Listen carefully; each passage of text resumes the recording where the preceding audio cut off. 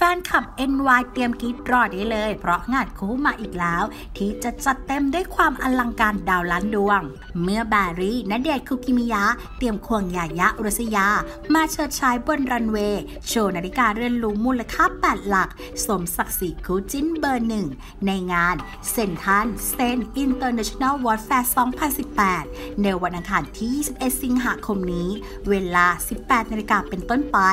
ที่ The Event Hall ชั้น 3ห้างเซ็นทรัลชิดลม